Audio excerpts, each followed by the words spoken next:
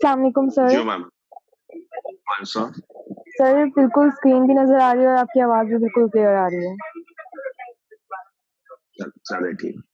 अच्छा अब अगर स्क्रीन भी आपको नज़र आ रही है, आप जो है वो मुझे सुन भी पा रहे हैं, so we should start now. देखिए लास्ट टाइम अपने मैग्नेटिज़्म जो है वो स्टार्ट किया इनफैक्ट स्टार्ट आज ही करेंगे।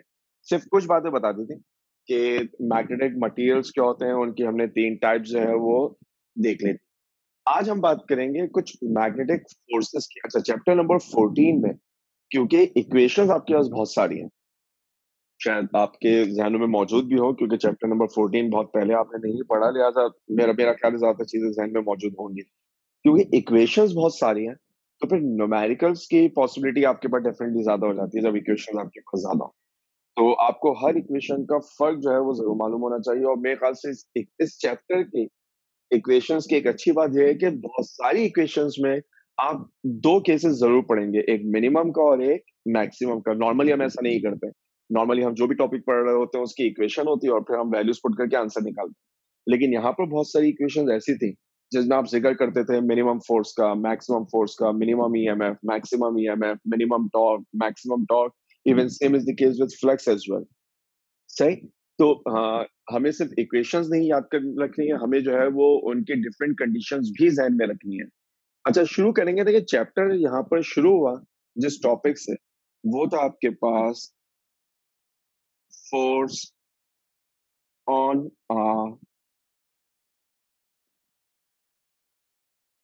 Moving charge.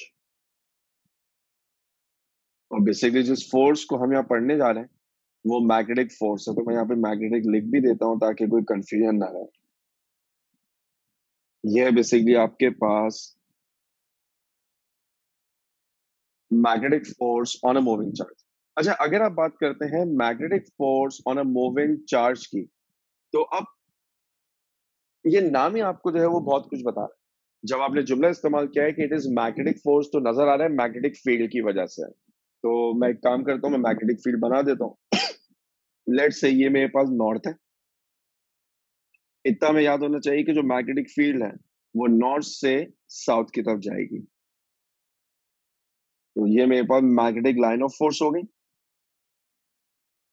और ये जो मैग्नेटिक फ़ील्ड है, ये नॉर्थ से साउथ जाती है। मैग्नेटिक फ़ील्ड की स्ट्रेंथ को हम कैपिटल बी से रिप्रेजेंट करते हैं, तो वेक्टर क्वांटिटी है। जैसे इलेक्ट्रिक फ़ील्ड में इलेक्ट्रिक फ़ील्ड स्ट्रेंथ या इलेक्ट्रिक फ़ील्ड इंटेंसिटी होती थी, वैसे मैग्नेटिक फ़ील्ड में मैग्नेटिक फ़ील्ड स्ट्रेंथ है या मैग्नेटिक फ़ील्ड इंटेंसिटी है। लेकिन यूजुअली हम ये नाम इस्तेमाल नहीं करते, इसके लिए आप वो मैग्नेटिक फ्लक्स डेंसिटी या magnetic field of induction use करते थे। आज की क्लास में हम देखेंगे भी कि ये नाम असल में ओरिजिनेट हुए कहाँ से। तो आपके पास एक नॉर्थ पोल है, एक साउथ पोल है, एक फ़ील्ड है। अब मेरे पास क्या है मैग्नेटिक फ़ील्ड और मूविंग चार्ज। एक चार्ज है जो कि मैग्नेटिक फ़ील्ड में मूव करेगा। लेट्स से वो चार्ज क्यू है। वो चार्ज क्यू है और ये मैग्नेटिक फ़ील्ड में मूव करता है इस डायरेक्शन। जब वो इस डायरेक्शन में ट्रेवल करेगा दिस इज़ वी तो यहाँ पर जो एंगल बनेगा, वो एंगल कहलाएगा क्या थीटा। अब कॉन्सेप्ट कहता है magnetic force on a moving charge इसका मतलब ये हुआ magnetic force magnetic field doesn't exert any force on a charge at rest. यही वजह है कि शायद आप इसका इसका रीजन क्या देखें। आपने तीन पॉसिबिलिटीज पढ़ी हुई है एक इलेक्ट्रॉन के लिए। अगर मेरे पास एक इलेक्ट्रॉन हो जो कि रेस्ट में है बल्कि मैं इसको ऐसे लिख देता हूँ कि आप आसानी से देख सकें।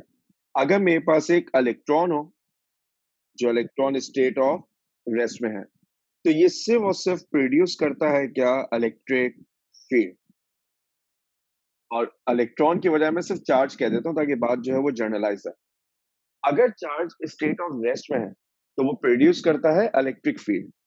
अगर चार्ज स्टेट ऑफ़ मोशन में है, तो ये प्रोड्यूस करेगा electric as well as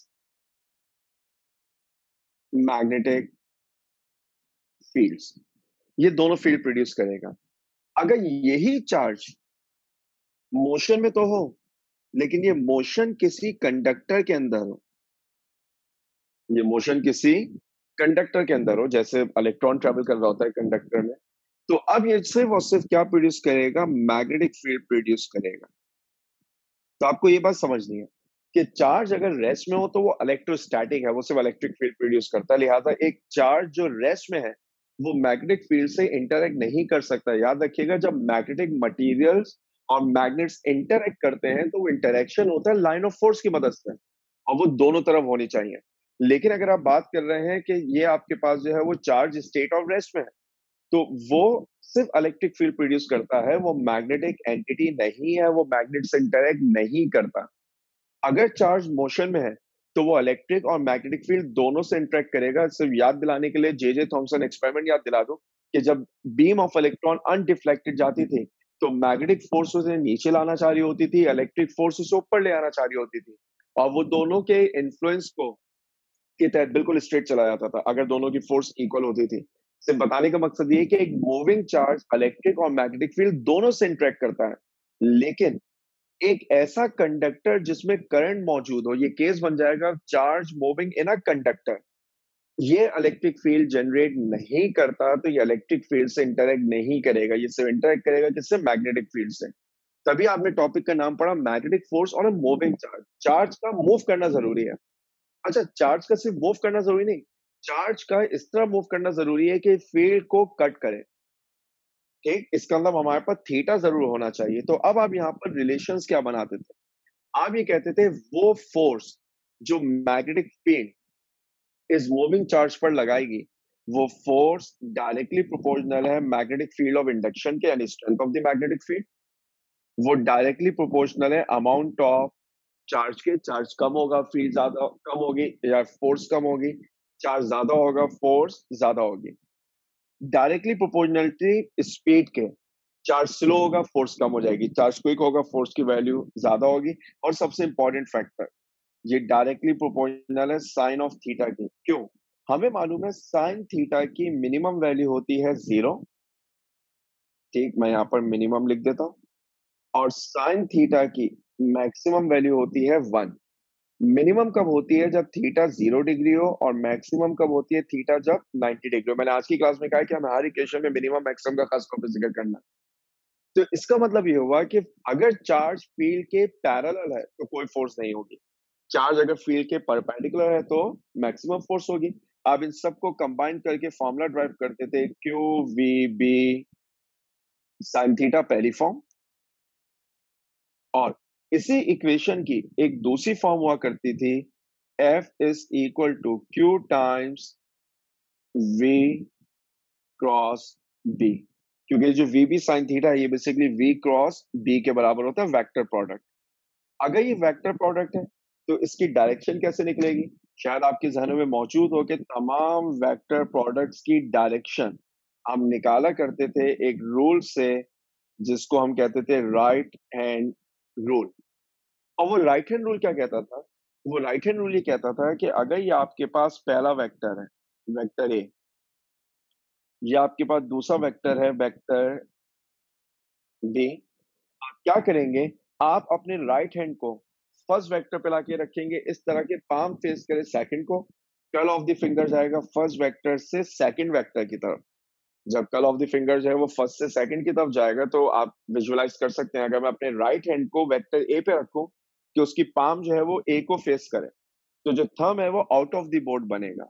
और आउट ऑफ़ द बोर्ड के लिए आपको याद होगा, वो डॉट वाली कन्वेंशन हम यूज़ करते हैं। इससे पता ही चलता है कि जो वेक्टर प्रोडक्ट होता है, वो हमेशा दोनों वेक्टर के परपेंडिकुलर होता है।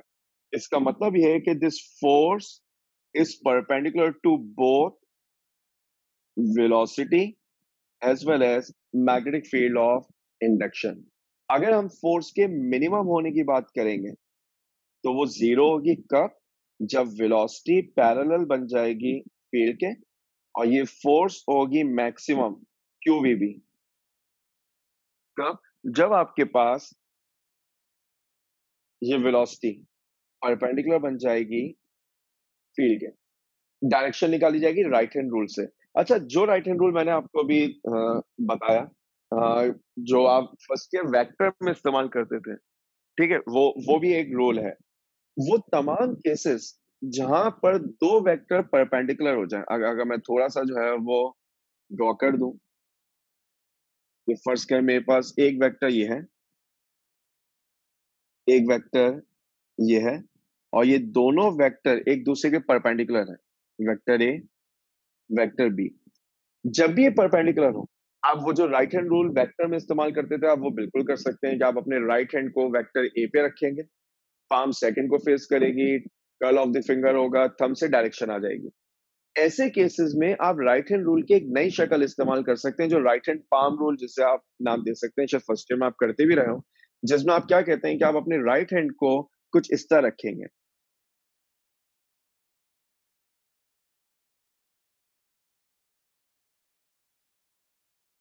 जिसमें आप अपने राइट हैंड को कुछ इस तरह रखेंगे।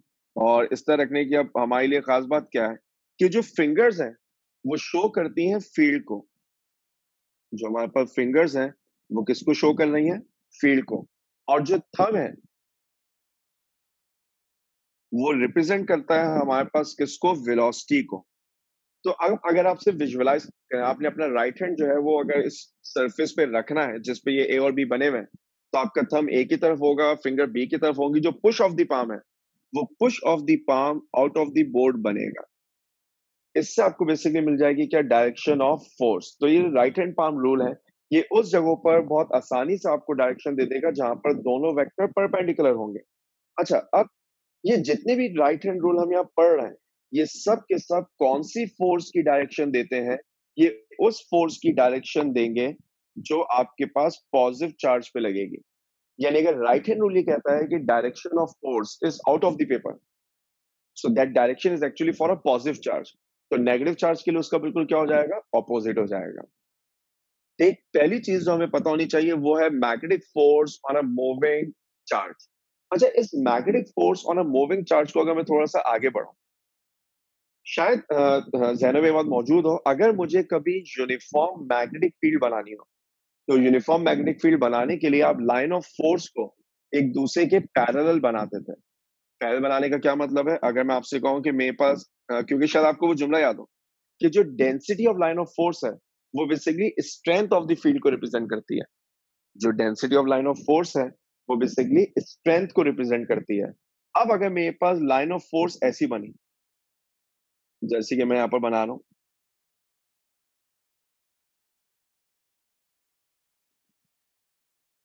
let's say this is north this is south तो मुझे नज़र आ रहा है यहाँ पर डेंसिटी ज़्यादा है। और मुझे नज़र आ रहा है कि यहाँ पे डेंसिटी कम है। क्यों कम है? अगर कोई बोले सर आपने एरिया बढ़ा दिया इस वजह से नहीं। इसलिए कम है कि जितना एरिया मैंने यहाँ पर कंसिडर किया था अगर वही एरिया में यहाँ पर भी बना दूँ तो इस एरिया में मेरे पास टोटल चार लाइन जो है वो मौजूद थी। तो डेंसिटी ज़्यादा होगी लेकिन इस एरिया में सिर्फ़ दो लाइंस मौजूद है। डेंसिटी क्या होगी? कम। और जो density of line of force है, वो स्ट्रेंथ को रिप्रेजेंट करती है। यानी मैं ये कह सकता हूँ लेफ़्ट से राइट right जाने में जो स्ट्रेंथ ऑफ़ फ़ील्ड है, वो कम हो जाएगी। अगर एनी लाइन ऑफ़ फोर्स को मैं एक दूसरे के पैरेलल बना दूँ, जैसे कि ये।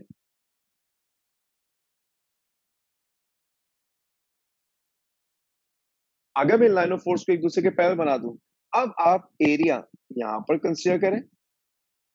आप एरिया जो है, वो यहाँ पर कंसिडर करें। आप एरिया जो है वो यहाँ कंसिडर करें। आप एग्री करेंगे कि सर हर जगह डेंसिटी जो है वो क्या रहेगी? सेम रहेगी। अगर डेंसिटी सेम रहेगी तो इसका मतलब फ़ील्ड आपके पास यूनिफॉर्म है। तो जहाँ जहाँ पर लाइन ऑफ़ फोर्स आपको पैरेलल नज़र आती है, वो केस बन जाता है यूनिफॉर्म फ़ील्ड का, चाहे वो इलेक्ट्रिक हो, चाहे वो मैग्नेटिक हो। मैग्नेटिक फ़ील्ड में हम एक नया कॉन्सेप्ट पढ़ते थे, जिसे हम नाम देते थे एक्सटेंडेड मैग्नेटिक फ़ील्ड किसी को याद है? एक्सटेंडेड मैग्नेटिक फ़ील्ड से क्या मुराद होती है? अगर कोई बच्चा जो है वो अपनी राय का इज़हार करना चाहे, तो नथिंग लाइक इट। जी। अगर किसी के ज़हन में उससे एक्सटेंडेड से मुराद ये होती थी। चलो मैं बताना शुरू करता हूँ, अगर किसी के ज़हन में आ जाए तो जैसे ही ज़हन में आए वो अपना हैंड जो है वो रेज़ कर सकते हैं। ताकि मुझे पता चले कि मैं अकेला नहीं पढ़ा रहा, यहाँ पे बच्चे हैं जो पढ़ भी रहे हैं। देखें, अगर मैं एक फ़ील्ड बनाऊँ इस क्रॉस का मतलब तो याद है ना इस क्रॉस का मतलब होता है कि field is into the board और मैं इसको यूनिफॉर्म फ़ील्ड मान रहा हूँ तो मैं यहाँ पर लिख भी देता हूँ कि इसका मतलब है ये इनटू है और इसका मतलब होता है ये आउट ऑफ़ है। वो जो एक एरो को देख के कन्वेंशन बनाई है कि अगर एरो सरफेस में जाएगा तो आपको उसकी टेल नज़र आएगी क्रॉस नज़र आएगा और अगर एरो सरफेस से बाहर आएगा तो आपको उसकी टिप या डॉट नज़र आएगा। फ़र्स्ट क्या मैग्नेटिक फ़ील्ड है, जिसकी स्ट्रेंथ बी है। एक चार्ज पार्टिकल है जो चार्ज पार्टिकल एंटर हुआ, कुछ इस तरीके से। This charge is positive its velocity is v अब आपको नज़र आ रहा है कि जो वेलोसिटी है, वो फ़ील्ड के परपेंडिकुलर है। अगर जल्दी से राइट हैंड रूल अप्लाई करके मुझे सिर्फ़ इतना बता दें कि ये चार्ज को अब डिफ्लेक्ट कहाँ पे होना है? क्या ये चार्ज ऊपर की तरफ़ डेविएट होगा? क्या ये चार्ज नीचे की तरफ़ डेविएट होगा?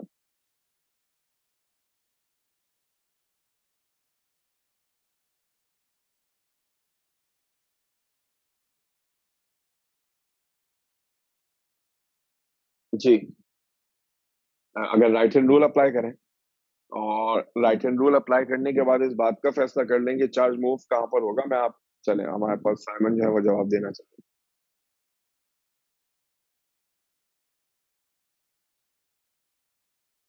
जी साइमन अस्सलाम सर वाई साहब सर डाउनलोड मोशन होगी। डाउनलोड होगा? चले मैं मैं मेरे ख्याल से एहसन इकबाल भी बताना चाह रहे हैं। जी एहसन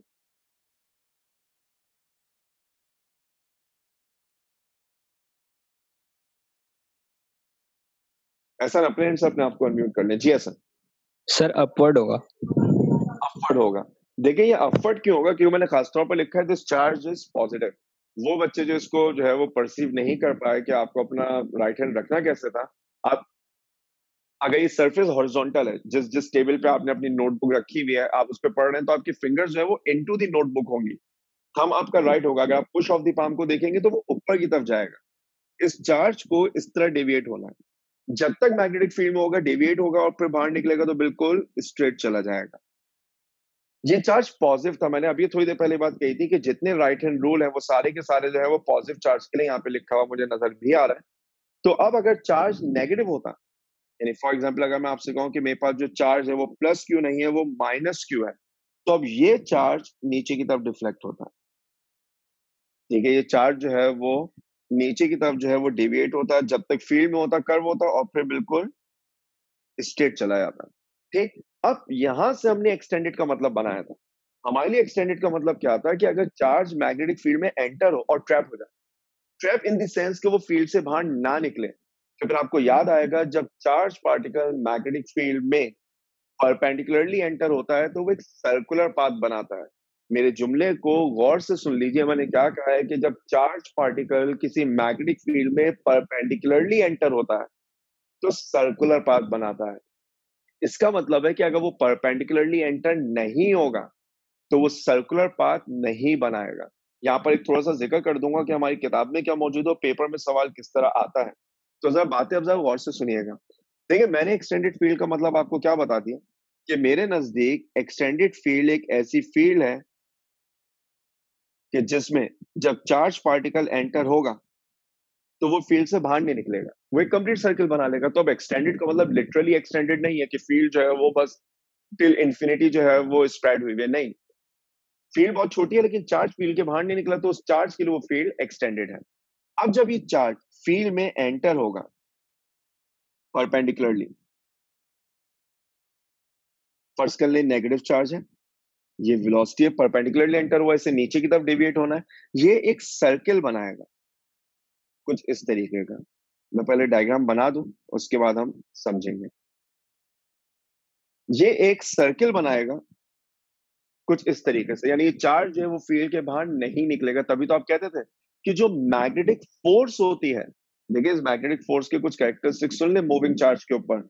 जिस फोर्स का मैंने यहाँ पर ज़िक्र किया, अगर मैं वो फोर्स दिखा दू, ये वाली force F equal q v B sine theta और F equal q time v cross B ये फोर्स क्या कर सकती है और क्या नहीं कर सकती? ये फोर्स एक मूविंग चार्ज की डायरेक्शन चेंज कर सकती है। मैं कलर थोड़ा सा चेंज कर दूँ कि वो डिस्टिंग्विश हो सके। ये जो फोर्स है, ये चार्ज की सिर्फ़ और सिर्फ़ क्या चेंज कर सकती है? डायरेक्शन ऑफ़ मोशन ये वेलोसिटी को ना तो बढ़ाएगी, ना ये वेलोसिटी को कम करेगी। इसका मतलब ये हुआ कि magnetic force on a moving charge जब मैं कहूँगा ना एक्सिलरेशन और डीसेलरेशन तो मैग्नेटिक फोर्स मूविंग चार्ज को ना एक्सिलरेट करती है, ना डीसेलरेट करती है। What it can do it can only change the direction of motion और अगर किसी के जहन में मौजूद हो कि एक ऐसा एक्सिलरेशन जिसका ताल्लुक सिर्फ़ डायरेक्शन ऑफ़ मोशन से होता है। उस एक्सिलरेशन को आप नाम देते थे सेंटीपीटल एक्सिलरेशन तभी तो वो सर्कुलर पाथ जहाँ बताओ ना सर चीज़ें अगर आप लिंक कर लें तो याद रखना आसान हो जाएगा। यही रीजन है कि शायद आपने कभी एक एमसीक्यू देखा हो कि अगर एक चार्ज पार्टिकल मैग्नेटिक फ़ील्ड में एंटर हुआ तो मैग्नेटिक फ़ील्ड क्या चेंज नहीं कर सकती। मैं आपको ऑप्शन दे सकता हूँ। मेरे पास चार क्वांटिटीज हैं वेलोसिटी बल्कि मैं वेलोसिटी को पूरा लिख दूँ तो बात और आसान हो जाएगी। वेलोसिटी दूसरा ऑप्शन है मेरे पास मोमेंटम तीसरा ऑप्शन है मेरे पास काइनेटिक एनर्जी और मेरे पास चौथा ऑप्शन है ऑल ऑफ़ दिस मेरा क्वेश्चन क्या है? Magnetic force on a moving charge can not change एक पांचवा ऑप्शन भी बना सकता हूँ। Can change all of this और इस वाले को हम बना देते हैं नन ऑफ़ दिस और मेरा क्वेश्चन क्या है? Magnetic force on a moving charge can not change जी क्या जवाब होगा इसका? Sir none of these none of this चले हाँ ए, एक जवाब आ गया अगर कोई और बच्चा जो है वो जवाब देना चाहे।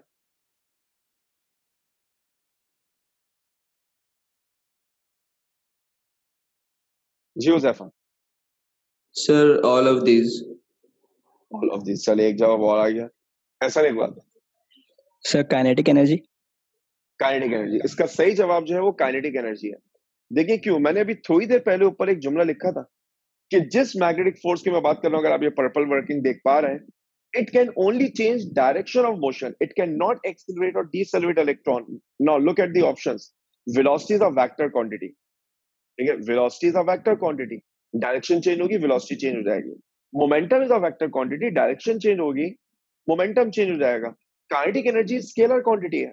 डायरेक्शन के चेंज होने से काइनेटिक एनर्जी पे कोई फ़र्क नहीं पड़ता। याद है ना कॉम्पटन इफ़ेक्ट में तो आपने ये काम किया कि जब मोमेंटम को ऐड करना था तो आपने एक्स वाई में रिजॉल्व किया because momentum is a vector quantity लेकिन जब आप काइनेटिक एनर्जी निकाल रहे होते थे तो आप सिंपली ऐड कर देते थे, क्योंकि स्केलर क्वांटिटी है तो काइनेटिक एनर्जी का तो डायरेक्शन के चेंज होने से कोई वास्ता ही नहीं। इसका इसका मतलब ये हुआ कि अगर आपके पास डायरेक्शन चेंज हो भी गई तो अमाउंट तो चेंज नहीं होगा क्योंकि ये बात हमें पता है मैग्नेटिक फोर्स ना तो चार्ज की वेलोसिटी को बढ़ाएगी ना कम करेगी सिर्फ़ डायरेक्शन चेंज करेगी। और डायरेक्शन चेंज करने से काइनेटिक एनर्जी पे कोई फ़र्क नहीं पड़ता। तो इस सवाल का जो सही जवाब मेरे हिसाब से वो है काइनेटिक एनर्जी कि, कितने लोगों को बात समझ में आ गई? हाँ बिल्कुल वो बच्चे जिन्होंने आंसर दिया था अगर अपने हैंड रेस कर लेंगे तो मुझे आइडिया हो जाएगा कि मेरी बात कहाँ तक पहुँच गई। वरना मैं किसी और तरीके से जो है वो समझाऊ चले। कम अज कम वो बच्चे जिन्होंने थोड़ा सा गलत जवाब दिया, उन्होंने, उनको बात समझ में आ गई। बाकियों को मुझे उम्मीद है समझ में आ रही होगी कि अगर आप बात कर रहे हैं मैग्नेटिक फोर्स की, तभी मैंने खासतौर पर बात बता दी है कि वो वेलोसिटी को ना बढ़ाएगी, ना कम करेगी, वो सिर्फ़ वो सिर्फ़ डायरेक्शन को क्या करेगी, चेंज, और डायरेक्शन के चेंज करने से काइनेटिक एनर्जी पे कोई फ़र्क नहीं पड़ता। तो ये कॉन्सेप्ट है एक्सटेंडेड मैग्नेटिक फ़ील्ड का। अब अगर चार्ज परपेंडिकुलरली एंटर हुआ तो ये फोर्स कैसे निकलेगी? आप ये कहेंगे, ये फोर्स बराबर होगी क्यू वी ठीक है क्यों? क्योंकि मेरे पास थीटा की वैल्यू जो है वो 90 डिग्री होगी। क्योंकि मेरे पास थीटा जो होगा वो कितना होगा? 90 क्योंकि मैंने खास तौर पर बात अज्यूम की हुई है कि charge enters the field perpendicularly ठीक? इक्वेशन नंबर वन क्योंकि फोर्स सिर्फ़ डायरेक्शन को चेंज करेगा। हो सकता है आपको मोशन इन टू डायमेंशन से बात याद हो कि circular motion without centripetal force नहीं हो सकती। यहाँ पर मैग्नेटिक फोर्स सेंटीपिटल के तौर पे बिहेव कर रही है तो सेंटीपिटल एक्सेलरेशन भी होगा। तो वो सेंटीपिटल फोर्स हम कैसे निकालते थे? M v square over r equation number two दोनों को इक्वेट करते थे। Q v B equal m v square over r v से स्क्वायर कैंसिल यहाँ से आर का फॉर्मूला बनेगा क्या? M v over q B ये कहलाता है radius of a circular path of a moving charge in a magnetic field provided charge enters the field perpendicularly देखिए, मैं इस बात पे बार बार ज़ोर दे रहा हूँ कि ये केस सिर्फ़ उस वक्त वैलिड है जब चार्ज फ़ील्ड पे परपेंडिकुलरली आएगा अगर चार्ज फ़ील्ड पे परपेंडिकुलरली नहीं आया, हम डेरिवेशन नहीं करेंगे, लेकिन हो सकता है अगर आपने अपने पास टेन ईयर्स या फिफ्टीन ईयर्स सॉल्व किए हो तो पेपर में आपको एक इक्वेशन नज़र आएगी। और वो इक्वेशन कुछ ऐसी होती थी। R is equal to m v sine theta divided by q B m v sine theta divide by q B अगर आप इस थोड़ी सी वर्किंग को ऊपर देखें ना, अगर आप एफ़ के साथ क्यूबी भी साइन थीटा लगा भी देते ना तो वो साइन थीटा आपके पास यहाँ डिनोमिनेटर में आता। लेकिन पेपर में डेरिवेशन आती थी कि साइन थीटा डिनोमिनेटर में नहीं है, बल्कि न्यूमरेटर में है। ये फॉर्मूला गलत नहीं है, ये फॉर्मूला सही है, बस अलमिया ये है कि आपके सिलेबस में ये पर्पल वाली डेरिवेशन मौजूद नहीं है। मुझे स्पेसिफिकली याद है कि किताब के अंदर एक क्वेश्चन मौजूद है जिसमें एक चार्ज पार्टिकल मैग्नेटिक फ़ील्ड के अंदर एक एंगल पे एंटर हुआ, उन्होंने वो रेडियस के हवाले से क्वेश्चन है। वहाँ पर ये पर्पल वाली इक्वेशन लगनी है। ठीक है, किताब के अंदर ये डेरिवेशन मौजूद नहीं है आप इसको जो है वो आयरन ऑफ़ फेथ कह लें या अलमिया कह लें कि बोर्ड में ये पर्पल वाली डेरिवेशन मेरा ख्याल है कम अज कम दो साल पूछी जा चुकी है। ठीक? हमें आप डेरिवेशन नहीं करनी, लिहाजा आप एक बार जहन में रखिएगा। सर्कुलर पाथ कब बनता है जब चार्ज फ़ील्ड के परपेंडिकुलरली एंटर हो? अगर चार्ज फ़ील्ड में परपेंडिकुलरली एंटर हुआ तो चार्ज अपनी जगह पर ऐसे गोल गोल बस घूमता रहेगा। ठीक है? लेकिन अगर चार्ज फ़ील्ड में परपेंडिकुलर ना हो if if theta is not equal to 90 degree तो याद रखिएगा सेंटीपीटल फोर्स तो हमेशा परपेंडिकुलर होती है वेलोसिटी के। इसका मतलब ये हुआ कि अब जो पाथ बनेगा, वो कुछ ऐसा बनेगा। चार्ज बनाना चाहेगा सर्कुलर पाथ लेकिन अब उसके पास एक कंपोनेंट वेलोसिटी का ऐसा भी होगा जो हॉरिजॉन्टल है, क्योंकि वो किसी एंगल पे आया तो चार्ज थोड़ा सा आगे चला जाएगा। आगे जाने के बाद कुछ ऐसा बनेगा, यानी आप आप शायद विजुअलाइज कर पा रहे हो कि आपको जो सर्कुलर पाथ बनता हुआ नज़र आएगा, वो बेसिकली हेलिक्सिकल होगा। जैसे हेलिक्स होता है ना, अगर आपने साइकिल का किक स्टैंड देखा हो, वो जो बल्कि आसान टर्मिनोलॉजी में बात कर लेते हैं, जो बाइसाइकिल होती है, उसके पीछे एक स्टैंड होता है, उसमें एक स्प्रिंग लगा हुआ होता है, जो आप हुक्स लॉ में मैट्रिक में भी यूज़ करते थे।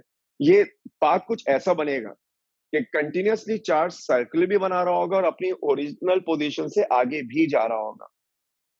तो इक्वेशन का फ़र्क ध्यान में रखिएगा। अगर चार्ज फ़ील्ड में परपेंडिकुलरली एंटर होगा सर्कल बनाएगा। अगर परपेंडिकुलरली एंटर नहीं होगा तो वो कुछ इस तरह हेलिक्सिकल पाथ जो है वो बनाता है, जिसका radius r equal m B sine over q B से निकाला जाता है। हमारा सारा फोकस जो है ना, वो इस r equal m B over q B पर ही रहेगा। अब इस इक्वेशन की आपने कुछ कंडीशंस पढ़ रखी हैं। ठीक है? वो कंडीशंस क्या है? वो याद है, आपके पास सवाल आता था कि अगर एक एक मैग्नेटिक फ़ील्ड के अंदर एक इलेक्ट्रॉन एंटर हुआ और एक न्यूट्रॉन एंटर हुआ, बता सकते हैं कौन ज़्यादा डिफ्लेक्ट करेगा? तीस सेकंड में जवाब आना चाहिए उस सवाल का। जी। जी ऐसा सर इलेक्ट्रॉन करेगा। क्यों? चार्ज है उसके ऊपर इसलिए। यानी अब आप दूसरे अल्फाज में ये कहना चाह रहे हैं सर न्यूट्रॉन पे कोई चार्ज ही नहीं है वो तो डिफ्लेक्ट होगा ही नहीं यस ये कहना चाह ठीक। देखिए एसन ने सही कहा क्योंकि इलेक्ट्रॉन पे चार्ज है वो डिफ्लेक्ट होगा वो कम हो वो ज़्यादा हो लेकिन न्यूट्रॉन पे तो कोई चार्ज ही नहीं है। लिहाजा न्यूट्रॉन के अंदर नो डिफ्लेक्शन होगी। न्यूट्रॉन के अंदर नो डिफ्लेक्शन अब इलेक्ट्रॉन में ज़्यादा है या कम है वो ज़्यादा ही है। अच्छा अगर मैं कंपेयर करूँ एक इलेक्ट्रॉन को और एक प्रोटॉन को तो आप देख लें हम किन बुनियादों पे ये फैसला करते थे। हम ये कहते थे कि अगर आप इलेक्ट्रॉन और प्रोटॉन का ज़िक्र कर रहे हैं जो एक मैग्नेटिक फ़ील्ड में एंटर हुए तो इंपॉर्टेंट बात क्या है? चार्ज की वैल्यू दोनों के लिए सेम है चार्ज ऑफ़ इलेक्ट्रॉन के बराबर। फ़ील्ड दोनों के लिए क्या है? सेम वेलोसिटी दोनों के लिए क्या है? सेम सिर्फ़ फ़र्क है मास का। और शायद मास के लिए आपको याद किसी को याद है कितने इलेक्ट्रॉन मिलके एक प्रोटॉन के बराबर मास बना लेते हैं?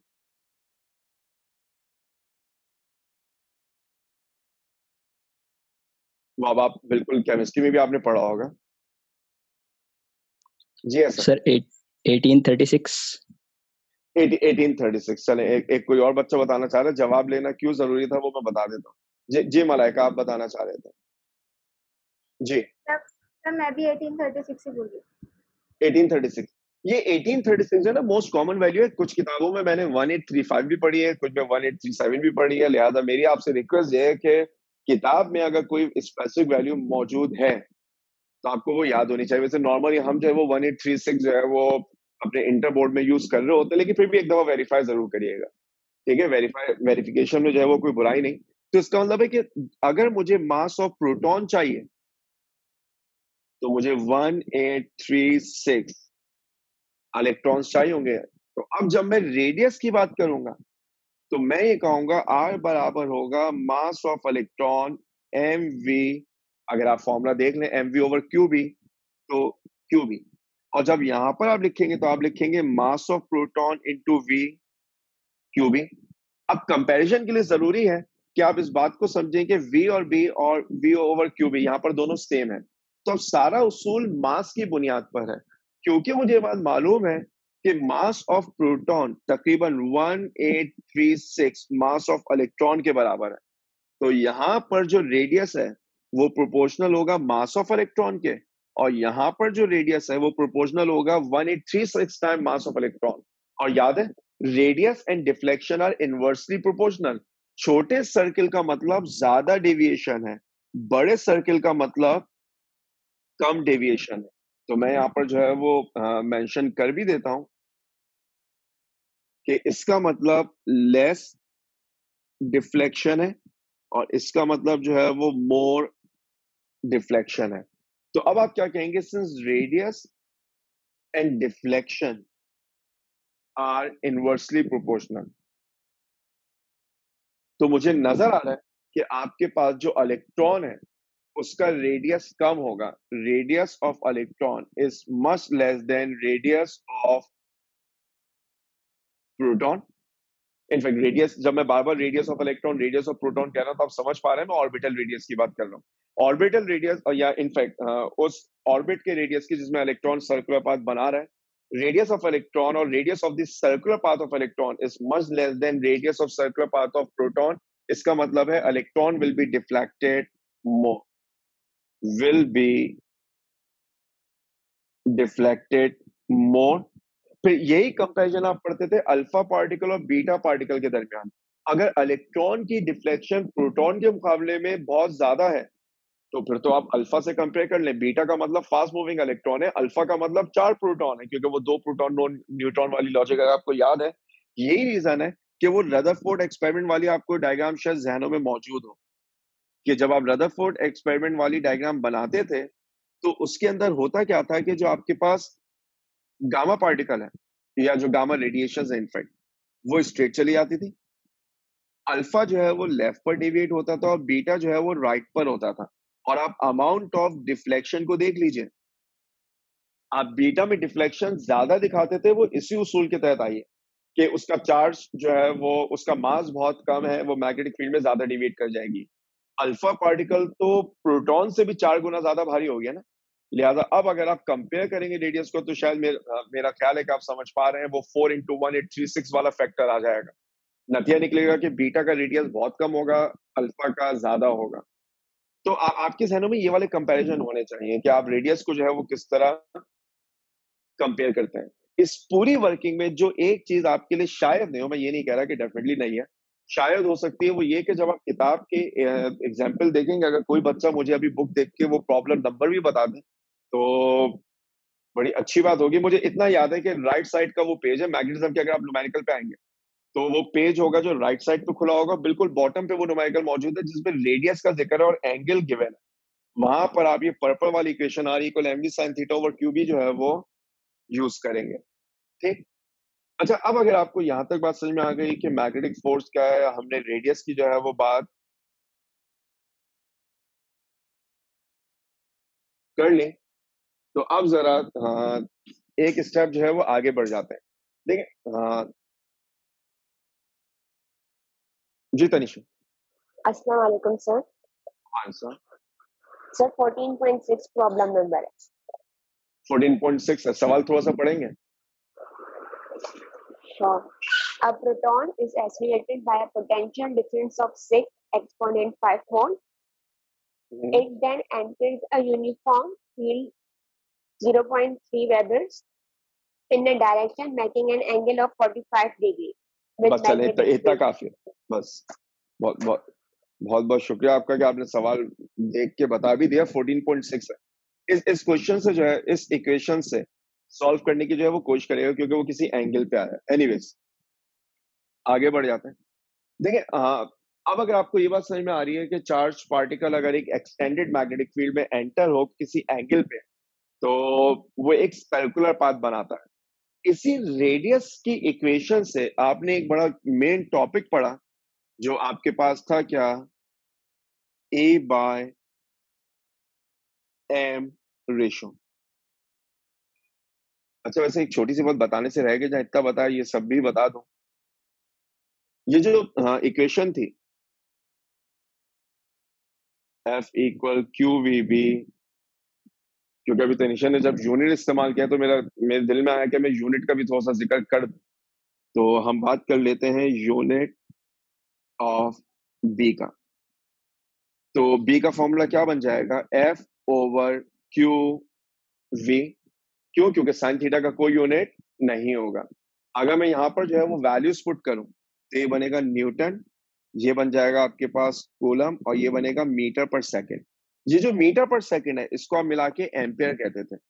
ये बनता था न्यूटन पर एम्पियर मीटर। और एक कन्वेंशन है, एम्पियर मीटर को जो है वो मीटर एम्पियर नहीं लिखा जाता वरना पढ़ने वाला इसे मिली एम्पियर पढ़ लेता है। तो हम एम्पियर पहले लिखते हैं और मीटर बाद में लिखते हैं। और ये जो न्यूटन पर एम्पियर मीटर है इस पूरे को मिलाकर हम नाम देते हैं किसका? वेबर का। क्या ये यूनिट मैंने से बताया न्यूटन पर एम्पियर मीटर? ये होना चाहिए वेबर पर मीटर स्क्वायर अभी आगे चलकर जब हम फ्लक्स पढ़ लोगे वहाँ पर इसका जो है वो ज़िक्र भी आएगा। जिसको एक नाम और दिया जाता था वो नाम होता था क्या? टेस्ला। ठीक है, जो मैग्नेटिक फ़ील्ड ऑफ़ इंडक्शन है, उसका यूनिट आपके पास वेबर पर मीटर स्क्वायर है न्यूटन पर एम्पियर मीटर है, जिसे टेस्ला भी कहते हैं। अच्छा ए- एक चीज़ और। बहुत सारे यूनिट आपने पढ़े, इनमें जो वन वाला कॉन्सेप्ट है ना, वो आपको याद होना चाहिए कि वन न्यूटन क्या होता है वन जूल क्या होता है वन टेस्ला क्या होता है। जैसे वो वन टेस्ला आप क्या डिफाइन करते थे? When a charge of one coulomb moving with a velocity of one meter per second perpendicularly in a magnetic field experiences a force of one newton. Then magnetic field of induction is one tesla ठीक है अगर ये वाली सारी बातें जो है वो जहनों में है तो जरा ई बाय एम रेशियो का आप ज़िक्र करते हैं। देखिए वैसे तो ई बाय एम रेशियो निकालना जो है वो कोई हाँ, बहुत मुश्किल काम नहीं होगा। क्यों मुश्किल काम नहीं होगा? क्योंकि आज हम सबको जो है वो चार्ज ऑफ़ इलेक्ट्रॉन की वैल्यू जो है वो मालूम है। हम सबको जो है वो मास ऑफ़ इलेक्ट्रॉन की वैल्यू भी मालूम है। अगर आप ई बाय एम रेशियो निकालेंगे तो मेरा ख्याल है शायद 1.76 एक्सपोनेंट 11 कूलम पर केजी के करीब आंसर आ जाएगा। हाँ ये चार्ज की वैल्यू उस वक्त निकालना जब मुझे ये डेटा ही प्रोवाइडेड ना हो कि चार्ज कितना, मास कितना, ये कमाल था। तो जो जे जे थॉमसन एक्सपेरिमेंट है, ठीक है, मैं यहाँ पर नाम लिख भी दू। J J Thomson experiment. अच्छा अब ये जो जे जे थॉमसन एक्सपेरिमेंट है, इसका इसका कमाल ये है कि ये ई बाइम रेशियो उस वक्त निकाला गया जब आपके पास पूरा डेटा प्रोवाइडेड नहीं था, चार्ज का मास का। अब जे जे थॉमसन ने किया ये, कि उसने कंसिडर किया एक फिलामेंट शायद आपको एक बार याद हो कि अगर आपने ऐसे बनाया तो ये इंडक्टर है, जो आप वो म्यूचुअल और सेल्फ इंडक्शन में या सोलेनॉइड के लिए इस्तेमाल करते थे। अगर आप इसको उल्टा बना देना तो ये हीटिंग एलिमेंट कहलाता है सेकेंड ईयर के प्रैक्टिकल में आपने इस बात का जो है वो ख्याल रखा हो कि हीटिंग एलिमेंट जब आप वो बनाते थे जैसे जोजो का एक्सपेरिमेंट आपके पास था अ, जहाँ पर आप कॉइल को हीट करते थे पानी को गर्म करने के लिए तो वहाँ पे कॉइल ऐसे बनाया जाता था। अगर आपने इंडक्टर को उल्टा कर दिया तो वो हीटिंग एलिमेंट है ये एक हीटिंग एलिमेंट है। इस हीटिंग एलिमेंट को एक हाई वोल्टेज सोर्स से कनेक्ट किया गया। ये हीटिंग एलिमेंट कोई आम एलिमेंट नहीं है ये एक ऐसे मटेरियल से बनाया गया है जिसकी रेजिस्टेंस बहुत ज़्यादा है। लिहाजा जब करंट पास होता है तो एक फिनोमेना कर होता है जिसे आप नाम देते थे थर्मियोनिक इमिशन के इलेक्ट्रॉन्स जो है वो एमिट होंगे। इसके सामने एक प्लेट होती थी, जिसको शायद थ्योरी में आप प्लेट ए का नाम देते हो। ठीक है, जिसको आप थ्योरी में नाम देते थे प्लेट ए का। इसके बाद कुछ इस तरह का जो है वो सूरत हाल आपको नज़र आएगी। इसके सामने एक सिलेंडर रखा हुआ होगा। जब मैंने कहा कि सिलेंडर रखा हुआ है तो इस सिलेंडर के जो है वो आपके पास डेफिनेटली दो एंड होंगे। एक घेरा और एक घेरा, जो एक ट्यूब की तरह आपको जो है वो नज़र आएगा। ये प्लेट आपके पास बी कहलाती थी, ये प्लेट सी होती थी। इन तीनों प्लेट्स का जो इम्पैक्ट है या जो एंड रिज़ल्ट है वो एंड रिज़ल्ट होता था बीम ऑफ़ इलेक्ट्रॉन जनरेट करना। देखिए, जब थर्मियोनिक इमिशन होगी तो इलेक्ट्रॉन रैंडम डायरेक्शन में जनरेट होंगे। जब थर्मियोनिक इमिशन होगी तो इलेक्ट्रॉन जो है वो रैंडम डायरेक्शन में जनरेट होंगे। जब वो रैंडम डायरेक्शन में जनरेट होंगे तो हम इन तीनों प्लेट को वोल्टेजेस प्रोवाइड करेंगे ताकि हमें कंटिन्यूस अट्रैक्शन रिपल्जन की मदद से वो इलेक्ट्रॉन जो यहाँ पर रैंडम थे, हमें वो जब यहाँ से बाहर निकले तो एक नैरो बीम की शक्ल में बाहर निकले। तो ये जो लाइन है, ये आपके पास जो है वो नैरो बीम ऑफ़ इलेक्ट्रॉन है। इस बीम के सामने एक अदद स्क्रीन होगी। मैं स्क्रीन बना भी देता हूँ।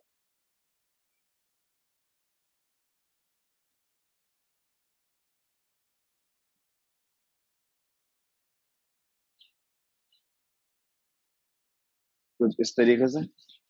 ये आपके स्क्रीन है। इस स्क्रीन के ऊपर आप आप कोटिंग कर देते हैं किसी भी फ्लोरेसेंट मटेरियल की। देखिए फ्लोरेसेंट मटेरियल वो होते हैं जिन पे लाइट फॉल होती है तो वो अपना निशान छोड़ देता है। अच्छा अब ये निशान जो है वो, ये निशान किस तरह का होना चाहिए? ब्राइट स्पॉट होगा, ये डार्क स्पॉट होगा? इट इट डिपेंड्स कि आप किस सरफेस की बात कर रहे हैं और किस तरह की एनर्जी की बात कर रहे हैं। जैसे एक्सरे के बारे में आपको बताया जब एनर्जी उस पर फॉल होती है तो जो एक्सरे फ़िल्म होती है, वो उसको ब्लैक करती है। यानी अक्सर बच्चों को लगता है कि सर एक्सरे फ़िल्म जो है वो सेंसिटिव टू लाइट है। जब लाइट फॉल होगी तो वो ब्राइट स्पॉट बनेगा। अगर मुझे गलत याद नहीं पड़ता, जब एनर्जी उस पर फॉल होती है तो वो ब्राइट स्पॉट नहीं छोड़ती। वो आपके पास डार्क स्पॉट छोड़ती है। तभी तो आप एक्सरे को देखें बोन्स जो होती है वो व्हाइट नज़र आती है। क्योंकि बोन्स से एक्सरे पास नहीं हो पाती एक्सरे पे नहीं पहुँचती। लेकिन बाकी रीजन ब्लैक नज़र आता है। क्यों? क्योंकि वो रेज जो है वो फ़िल्म तक पहुँचती है। तो वो एक्सरे को डार्क कर देते हैं। Anyways come back to the original topic आप इस स्क्रीन को कोट करेंगे किसी मटेरियल से। वो मटेरियल नॉर्मली जो है वो जिंक सल्फाइड होता है। जब लाइट यहाँ पर फॉल होगी तो वो इसके ऊपर जो है वो अपना निशान जो है वो छोड़ देगी। इस पॉइंट पे जहाँ पर स्क्रीन को लाइट ने हिट किया, मैं नाम दे रहा हूँ पॉइंट ओ का। ये पॉइंट ओ हमारे लिए बड़ा इंपॉर्टेंट है इससे मैंने खासतौर पर मार्क कर दिया। आप यहाँ पर दो प्लेट्स इस्तेमाल करते थे। एक प्लेट आपके पास ये वाली होती थी, जिसको आप प्लेट पी का नाम देते थे। एक प्लेट आपके पास जहाँ होती थी, जिसको आप प्लेट क्यू का नाम देते थे। ये हमारे पास पी हो जाएगी और ये वाली प्लेट क्यू हो जाएगी। ठीक? अच्छा अगर मेरे पास मैग्नेटिक फ़ील्ड नहीं है तो जो बीम ऑफ़ इलेक्ट्रॉन है, वो बिल्कुल स्ट्रेट जाएगी स्क्रीन को एक पॉइंट पे हिट करेगी, जो पॉइंट ओ कहलाएगा। अब अगर मैं इन प्लेट्स के दरमियान एक मैग्नेटिक फ़ील्ड जो है, वो प्रोड्यूस कर दूँ और अब आप गौर से देख लें, जो मैग्नेटिक फ़ील्ड में प्रोड्यूस कर रहा हूँ, वो magnetic field number one into the board है। और आप इस बात से एग्री करेंगे कि जो चार्ज है, वो फ़ील्ड के परपेंडिकुलरली एंटर हुआ है। यानी अगर मेरे पास ये डायरेक्शन वी की है तो मेरे पास ये डायरेक्शन जो है, वो बी की है। दोनों में एंगल कितना बन रहा है? 90 डिग्री ठीक? जब चार्ज किसी मैग्नेटिक फ़ील्ड में 90 डिग्री पे एंटर होगा तो वो डेविएट होगा। सिर्फ़ ये बीम ऑफ़ इलेक्ट्रॉन है। अगर ये बीम ऑफ़ इलेक्ट्रॉन है तो इसे डिफ्लेक्ट का होना चाहिए? ऊपर की तरफ़ या नीचे की तरफ़? कोई अगर जल्दी से बता दे तो मैं डेरिवेशन में जो है वो आगे बढ़ जाऊँगा।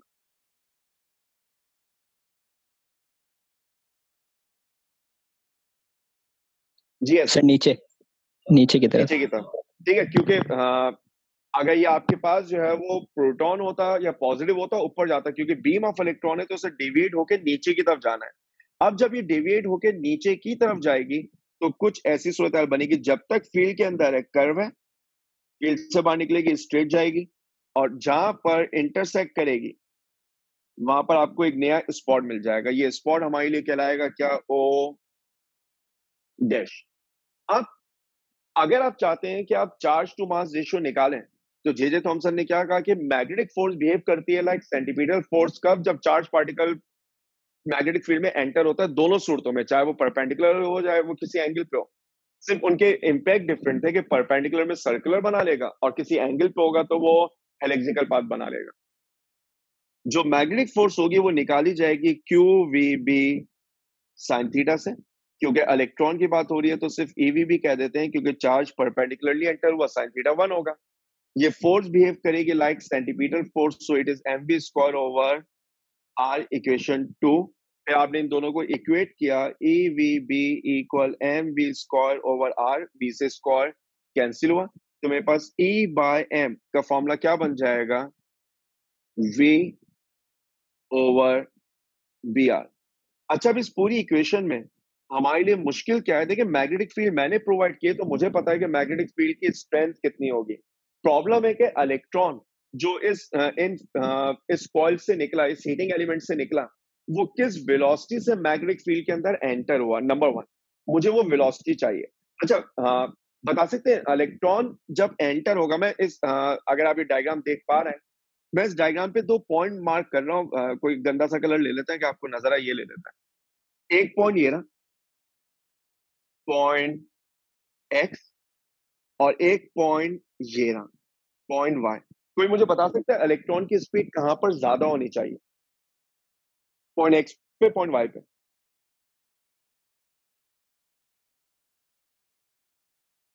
ऐसा लग रहा है, मैं और एसन जो है ना टेबल टेनिस खेल रहा है। मैं बॉल एसन की तरफ़ फेंकता हूँ एसन मेरी तरफ़ वापस भेज देता है।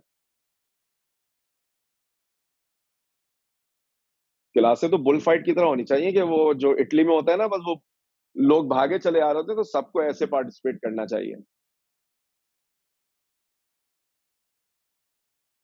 जी हाँ सर मिला। जी सर पॉइंट एक्स के ऊपर होना चाहिए स्पीड ज़्यादा।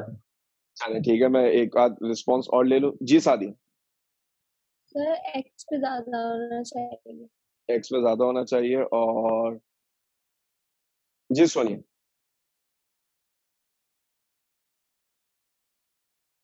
सोनिया आपको अपने एंड से अनम्यूट जी। सर एक्स ज़्यादा एक्स पे ज़्यादा होना चाहिए। जी मलाइका दोनों पॉइंट पर सेम होनी चाहिए कि आपने बताया था कि वो फोर्स जो है वो उसको इफ़ेक्ट नहीं करेगी स्पीड को। माशाल्लाह बिल, बिल, बिल, बिल्कुल ठीक।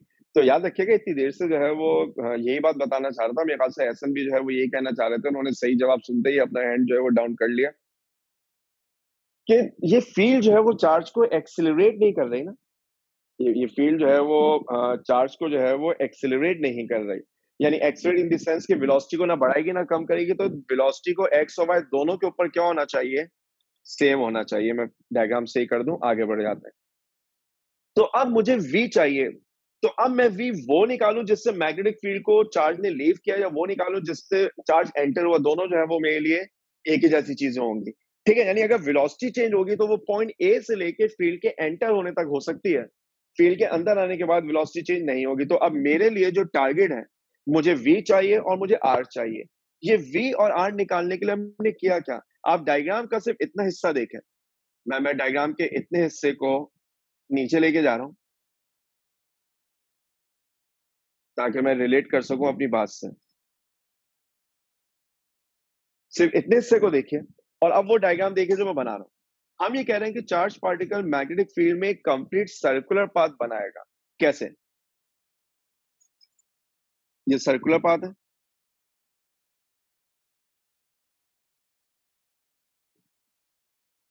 चल, ये हमारे पास सर्कुलर पाथ हो गया। ठीक है, चार्ज पार्टिकल आ रहा है, जो बीम ऑफ़ इलेक्ट्रॉन है, वो स्ट्रेट आई। अगर मेरे पास मैग्नेटिक फ़ील्ड नहीं होती, मैं ये ग्रीन मैग्नेटिक फ़ील्ड की बात कर रहा नहीं होती तो चार्ज पार्टिकल यहाँ कहीं पर स्पिन को हिट कर रहा होता, जिस पॉइंट को मैं नाम देता हूँ, पॉइंट ओ का। मैग्नेटिक फ़ील्ड की वजह से बीम जो है वो डेविएट हुई और डेविएट होने के बाद जो चार्ज है वो स्क्रीन को इस पॉइंट पर हिट कर रहा है, जिसको मैंने ऊपर नाम दिया हुआ है ओ डैश का। तो शायद आप इस बात से एग्री करें कि सर यहाँ से लेके, यहाँ तक का ये जो डिस्टेंस है, मैं डायग्राम को थोड़ा सा जो है वो बेहतर कर दू। सिमेट्रिक होगा तो आप समझ पाएँगे आराम से। ये जो डिस्टेंस है, इसको हम नाम देते हैं डिस्टेंस बी का। और ये जो पॉइंट है जहाँ से जिसको मैंने पॉइंट एक्स कहा हुआ ये बेसिकली वो पॉइंट है जहाँ से मैग्नेटिक फ़ील्ड जो है वो स्टार्ट हो रही है। तभी तो पार्टिकल जो है वो डेविएट होना शुरू हुआ। तो ये जो बी है, इस बी का मतलब क्या होता है? इस बी का मतलब होता है distance between start of magnetic field and the screen. ठीक है? अच्छा ये जो ओ से ओ डैश आपको नज़र आ रहा है, ये वाला डिस्टेंस ये डिस्टेंस हमारे पास कहलाता है क्या? स्मॉल ए इस स्मॉल ए का मतलब होता है क्या? शिफ्ट ऑफ़ स्पॉट ये हमारे पास कहलाता है क्या? शिफ्ट ऑफ़ स्पॉट अच्छा शिफ्ट ऑफ़ स्पॉट कितना छोटा होता है? देखिए आप तो आ, आ, बड़े एडवांस दौर में आप रह रहे हैं अगर अभी भी किसी के घर में जो है वो कोई कन्वेंशनल टीवी कन्वेंशनल टीवी वो है जिसके अंदर पिक्चर ट्यूब होती है जो सामने से जो है वो छोटा सा होता है आप साइड से देखें तो उसकी डेप बहुत ज़्यादा होती है। क्योंकि अगर आपके घर में एलईडी एलसीडी या प्लाज्मा या इस तरह की कोई भी चीज़ है तो उसकी तो थिकनेस जो है वो एक सेंटीमीटर दो सेंटीमीटर तीन सेंटीमीटर होगी इससे ज़्यादा नहीं होगी क्योंकि उसके अंदर पिक्चर ट्यूब नहीं है। बेसिकली जो कुछ आपने पढ़ा हुआ है इसी को आप पार्टिकल एक्सीटर का नाम दे दें, इसी को आप पिक्चर ट्यूब का नाम दे दें, आप इसको कई नाम जो है वो दे सकते हैं, ठीक?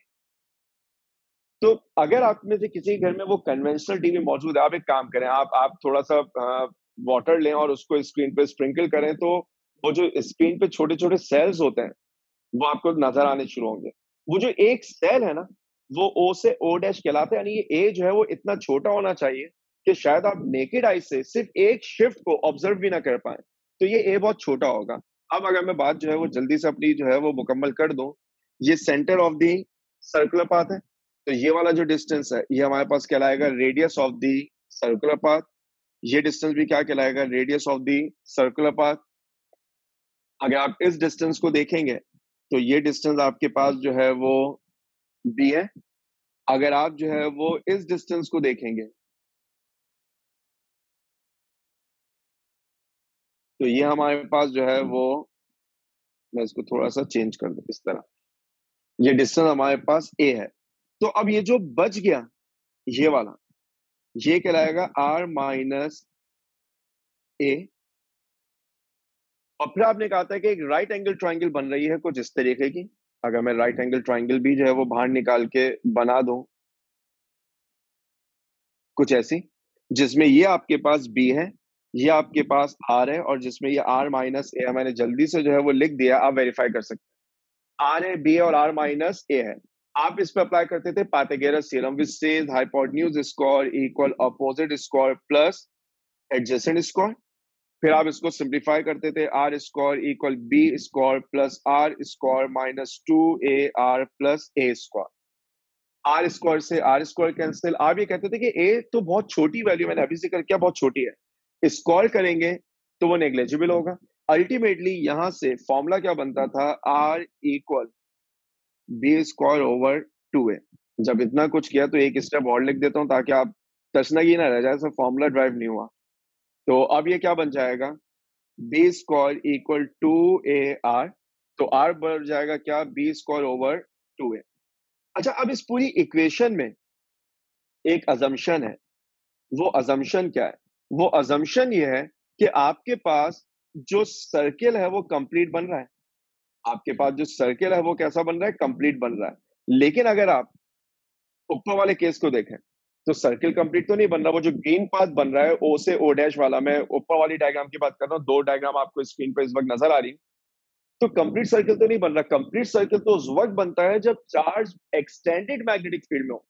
यानी ये सारी इक्वेशन इस अजम्पन पर है कि जो मैग्नेटिक फ़ील्ड है वो एक्सटेंडेड है, वो कहाँ तक है, वो स्क्रीन तक है, क्योंकि जब तक चार्ज मूव करेगा, वो डिवेट होता रहेगा। यानी अगर आप सिर्फ़ इतने से हिस्से को देखें तो हम, अब आप मेरी बात समझ पाएँगे।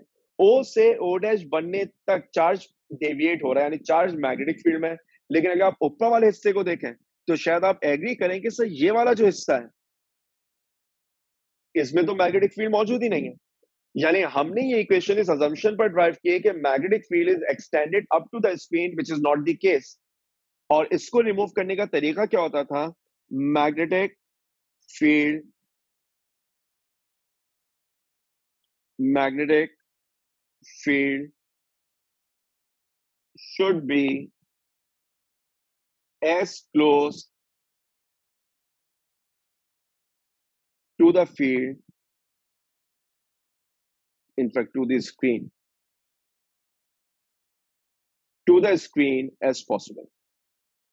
To the screen as possible. ठीक है आर बराबर हो गया B square over two eighty ये वैल्यू हमने निकाल ली। फिर हमें चाहिए होती थी वेलोसिटी तो वेलोसिटी निकालने के लिए हम क्या करते थे? वेलोसिटी निकालने के लिए हम ये कहते थे कि हमें मालूम है कि काइनेटिक एनर्जी बराबर होती है किसके? क्यू डेल्टा वी के। ठीक है इलेक्ट्रोस्टैटिक में आपने ये फॉर्मूला जो है वो पढ़ रखा है कि काइनेटिक एनर्जी बराबर होगी किसके? क्यू डेल्टा वी के। काइनेटिक एनर्जी का मतलब होता है half M V square equal Q delta V क्योंकि बात इलेक्ट्रॉन की हो रही है तो आप इसको लिखते थे ई डेल्टा वी और यहाँ से आपने वी स्क्वायर की वैल्यू निकाल ली थी। Two E delta V over M तो यहाँ से वी आ गया था। फिर वो एक लंबी कहानी है कि इसे ई बाय एम के रेशो में आपने पुट किया था। क्यों पुट किया था? क्योंकि अगर आप इस इक्वेशन को देखें तो वी निकालने के लिए मुझे ई बाय एम रेशो चाहिए। और मैं वी निकाल ही इसलिए रहा हूँ ई बाय एम हाँ वी निकाल ही इसलिए रहा हूँ कि मैं ई बाय एम कैलकुलेट कर लूँ। तो इसका मतलब ये इक्वेशन आपके किसी काम की नहीं, लिहाजा आप इस इक्वेशन को इस पहली इक्वेशन में वी ओवर बी आर में पुट करके सिंप्लीफाई करते थे। फ़िलहाल हमारा वो टारगेट नहीं, मैं सिर्फ़, फिर भी एक स्टेप लिख देता हूँ, चले। ए बाय एम बराबर होता है वी ओवर बी आर के। तो जहाँ पर वी है, वहाँ पर क्या लिखा जाएगा? Square root of two E delta V over M divided by B R फिर वो आप दोनों तरफ़ स्क्वायर करते थे, इसको सिंप्लीफाई करते थे। A square over M square equal two E delta V over M ये बनेगा B square R square square से ई कैंसिल स्क्वायर से एम कैंसिल तो ई बाय एम रेशो क्या बन गया? Two delta V over B square over R square R का फैसला हम ऑलरेडी कर चुके हैं, वो बी स्क्वायर ओवर टू है पुट कर देंगे आंसर आ जाएगा। अब मुझे जल्दी से सिर्फ़ एक, अगर कोई एक बच्चा जो है, वो बता दे। एसन के अलावा। ठीक है, मैंने एसन से जो है, वो फ़िलहाल जवाब देने के इख्तियार छीन लिए अगर कोई नहीं बताएगा तो फिर ऐसा नहीं जवाब दे देंगे। इस इक्वेशन में बुराई क्या cardiac energy equal Q delta V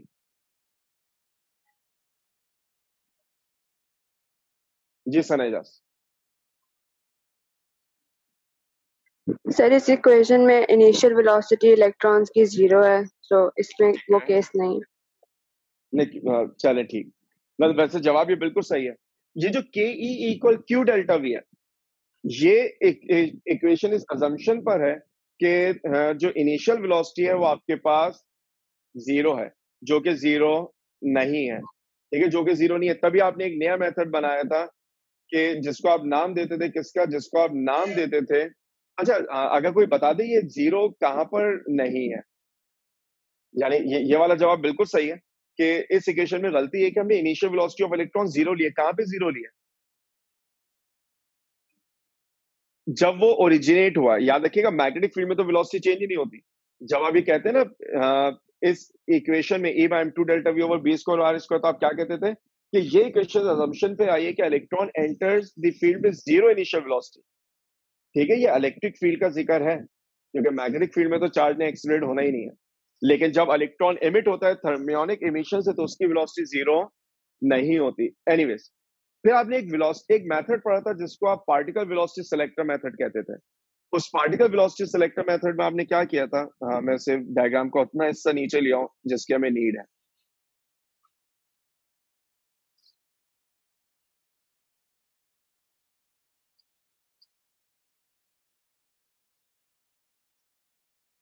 चल। अब मैग्नेटिक फ़ील्ड इलेक्ट्रॉनिक बीम को नीचे लेके जाना चाह रही है तो ये जो डेविएशन है ये this is because of magnetic field है। हमने यहाँ पर बैटरी कनेक्ट की इस तरह कि बैटरी का पॉजिटिव यहाँ पर हो नेगेटिव यहाँ पर हो। क्यों? ताकि इलेक्ट्रॉनिक बीम को ये इलेक्ट्रिक फ़ील्ड कहाँ ले आना चाहे? ऊपर ले आना चाहे। ताकि इलेक्ट्रॉनिक बीम को ये कहाँ ले आना चाहे? ऊपर ले आना चाहे। तो अब दो फोर्सेस होंगे। एक आपके पास है मैग्नेटिक फोर्स जिसे मैं एफ़ बी लिख देता हूँ ईवीबी एक हो गया आपके पास इलेक्ट्रिक फोर्स जिसका फॉर्मूला आपको याद होगा ई इंटू कैपिटल ई याद है ना? ई बराबर होता था एफ़ ओवर क्यू के, यहाँ से एफ़ निकाल लें ई इंटू ई आएगा। आप दोनों को इक्वेट करते थे तो v का v का फॉर्मूला क्या बनता था? E over b. ये कहलाता था पार्टिकल वेलोसिटी सेलेक्टर मेथड या सिलेक्शन मेथड इस इक्वेशन को सिर्फ़ उस वक्त इस्तेमाल किया जाएगा जब इलेक्ट्रॉनिक बीम अनडिफ्लेक्टेड जाएगी। अच्छा इस डायग्राम से मुतालिक कुछ बातें हैं जो एमसीक्यू में मेरे हिसाब से पूछी जा सकती हैं। अगर आप चाहते हैं कि इलेक्ट्रॉनिक बीम अनडिफ्लेक्टेड चली जाए in the presence of electric and magnetic field electric and magnetic field needs uh, need to be perpendicular to each other अगर आप गौर से देखें तो यहाँ पर जो इलेक्ट्रिक फ़ील्ड है वो याद है ना इलेक्ट्रिक फ़ील्ड पॉजिटिव से नेगेटिव की तरफ़ बनती थी? ये इलेक्ट्रिक फ़ील्ड है।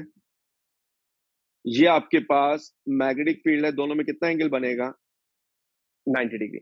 दोनों को जो है वो 90 होना चाहिए क्योंकि ये फॉर्मूला जो है वो हम यूज़ कर सकते हैं न्यूमेरिकल में। जब भी आपको पता चले कि चार्ज अनडिफ्लेक्टेड जा रहा है और इलेक्ट्रिक फ़ील्ड और मैग्नेटिक फ़ील्ड दोनों मौजूद हैं तो speed of electron is given by A by B ठीक? हमें जो है वो ये जे जे थॉमसन एक्सपेरिमेंट से मुतालिक ये वाली बातें जो है वो याद होनी चाहिए। देखिए यहाँ तक हमने चैप्टर का एक सेगमेंट कंसिडर कर लिया जो सब एक दूसरे से लिंक था।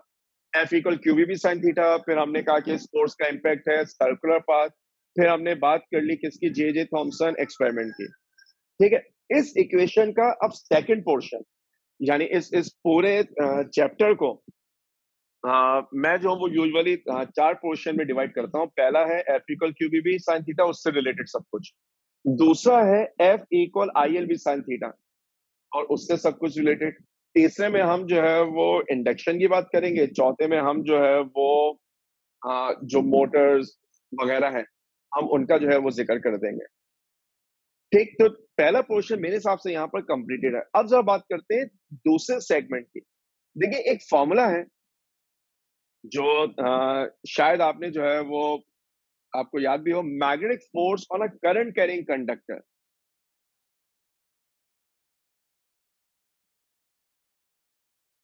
magnetic force on a current carrying conductor.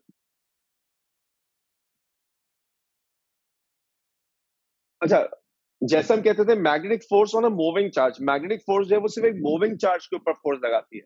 इसी तरह magnetic force on a current carrying conductor का मतलब है कि मैग्नेटिक मैग्नेटिक फ़ील्ड किसी कंडक्टर पे फोर्स नहीं लगाती।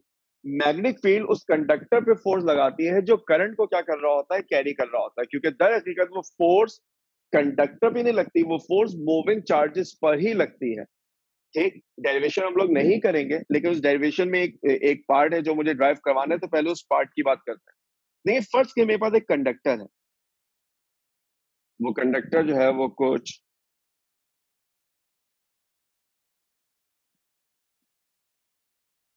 इस तरह का।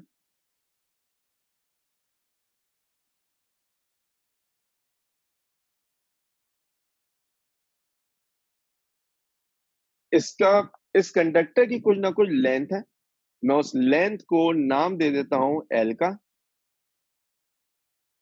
इस कंडक्टर का कुछ ना कुछ एरिया भी है। तो इसका कुछ वॉल्यूम होगा। वो वॉल्यूम कैसे निकालेंगे? ए इंटू एल से। क्योंकि हमें याद है cross sectional area into length will give you the value of volume. हमें वॉल्यूम मिल गया। अगर मैं आपसे कहूँ कि N T is basically total number of electrons in the conductor जो एन टी है, वो total number of electron in the conductor है। और एन का मतलब होगा number of electrons per unit volume कुछ जानी पहचानी चीज़ लगी होगी, आप हेट के अंदर ये सब रिव्यू ऑलरेडी कर चुके होंगे। तो एन का मतलब क्या होता था? N T divide by V नज़र भी आ रहा है number of electron per unit volume तो एन टी क्या बन जाता था? एन वी जिस एन वी को हम क्या लिख दिया करते थे? एन ए एल ये मेरे पास वैल्यू आ गई किसकी? एन टी की। ठीक। अच्छा हमें ये मालूम है कि अगर हमें चार्ज चाहिए तो याद है एक फॉर्मूला आपने पढ़ा होगा, Q is equals to N times E अगर मुझे टोटल चार्ज चाहिए तो क्योंकि सारे इलेक्ट्रॉन है, अगर एक इलेक्ट्रॉन का चार्ज ई होता है तो दो का चार्ज टू ई होगा, तीन का थ्री होगा टेन चार्ज का इलेक्ट्रॉन टेन ही बन जाएगा तो जो एन चार्जेस होंगे, उनका इलेक्ट्रॉन क्या कहलाएगा? एन ई मैंने यहाँ पर टोटल को एन टी कहा हुआ है तो मैं इसको लिख देता हूँ एन टी टाइम्स ई जिसका मतलब बन जाएगा क्या? एन ए एल ई ये क्यू की वैल्यू है। अब अगर आपको करंट चाहिए तो आपको दोनों तरफ़ टाइम से डिवाइड करना पड़ेगा। तो ये बन जाएगा क्या? Q over T equal N A L E over T Q over T का मतलब आई होता है। अब इस इक्वेशन में अगर आप इस एल ओवर टी को देखें तो एल का मतलब लेंथ है और लेंथ से मुराद वो डिस्टेंस है जो इलेक्ट्रॉन ट्रेवल करने वाला है। लेंथ से मुराद वो डिस्टेंस है जो इलेक्ट्रॉन ट्रेवल करेगा। तो मैं इसको क्या लिख सकता हूँ? एन ए वी ई जिसको usually N A V E वैसे मैथमेटिकली तो कोई फ़र्क नहीं पड़ता मल्टीप्लाई होना है। ये फॉर्मूला आपके लिए इंपॉर्टेंट है। क्योंकि अगर मुझे गलत याद नहीं पड़ता तो पिछले दस बारह सालों में किसी एक साल एक ऐसा एमसीक्यू है जिसपे फॉर्मूला अप्लाई होगा। अगर मुझे वेलोसिटी मालूम हो number of electrons per unit charge मालूम हो एरिया मालूम हो ई मालूम हो तो मैं जो हूँ वो आई जो है वो बेसिकली इस फॉर्मूले से जो है वो निकाल सकता हूँ। और अगर आप गौर से देखें, ये जो एन है, ये बेसिकली चार्ज डेंसिटी कहलाएगी। नंबर ऑफ़ इलेक्ट्रॉन के केस में, क्योंकि आप टोटल नंबर ऑफ़ चार्जेस को जो है वो वॉल्यूम से क्या कर रहे हैं डिवाइड कर रहे हैं। तो हर वो चीज़ जो डिवाइड होती है साइज़ से वो डेंसिटी का सेंस देती है। ठीक? भाई ये इक्वेशन बताना जो है वो मकसूद था। अगर आप मैग्नेटिक फ़ील्ड निकालना फोर्स निकालना चाहते हैं किसी करंट कैरिंग कंडक्टर पे तो यहाँ पर कंडक्टर को फ़ील्ड में ला के रख दें। ये नॉर्थ है, ये साउथ है। तो वो फोर्स कैसे निकाली जाती थी? I L B sine theta से। ठीक जहाँ पर थीटा का मतलब है angle between L and B. ठीक है, जहाँ पर वो एल और बी है बेसिकली ठीक? और अगर आप इस I L B sine theta को एक स्टेप आगे बढ़ा दें तो आप कहते थे ये फोर्स आपके पास मिनिमम होगी ज़ीरो कब? जब length of the conductor of field एक दूसरे के क्या बन जाएँगे? पैलन और ये फोर्स आपके पास होगी मैक्सिमम कितनी? आई एल बी जब आपके पास एल परपेंडिकुलर होगा किसके? बी के। तो हमें मिनिमम फोर्स और मैक्सिमम फोर्स याद होनी चाहिए। इसका मतलब यह है कि अगर मेरे पास एक फ़ील्ड ऐसी होती नॉर्थ साउथ मैंने यहाँ पर एक कंडक्टर रखा। इस कंडक्टर की लेंथ